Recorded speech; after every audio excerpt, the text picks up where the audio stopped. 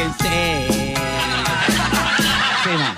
哎，你今晚呢？是讲你讲个春假头？早期刚出道的 NONO 在节目中担任鼓手，时不时大胆抢话，炒热气氛。打到后面衍生出来，我那种整套啊，爵士鼓啊，什么加加起来，差不多快一二十颗的鼓这样子。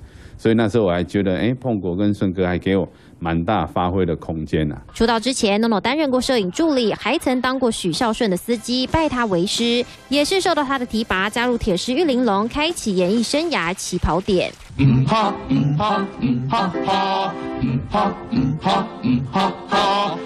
哦哦，打开知名度的 NONO 成为各大综艺节目常客，也加入吴宗宪旗下的宪宪家族，出人意表的笑料深受观众喜爱。但近日卷入性骚案，前老板吴宗宪也感叹个人造业，个人担。光男孩，输光男孩。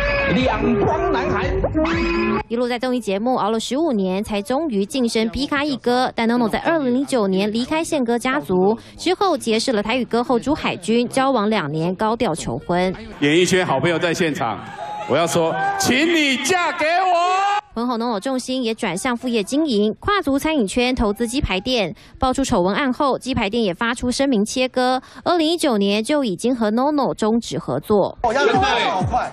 你算是偶像界的 NONO。十二年前节目片段对照现今，两人同时深陷性侵风波，这巧合让网友笑称根本预言家。曾经副业有成的最强绿叶，如今却沦为性骚事件主角，抨击不断。三选干韩人科学台北。